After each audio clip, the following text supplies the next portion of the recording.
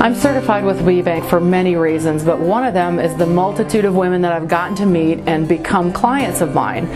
To date, I've been certified for 13 years and I have over 25 clients as a result of WBENC certification, and they're people I would never have met otherwise. They're people that are in other parts of state, the state and other states, and it's been so much fun to learn about their businesses and help them promote their business.